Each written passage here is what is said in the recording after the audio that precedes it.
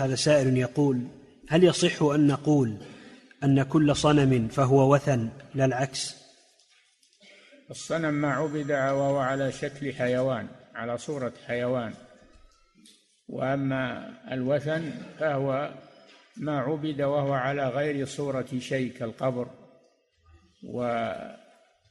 والأشياء التي ليست على صورة كالشجرة وغير ذلك. نعم.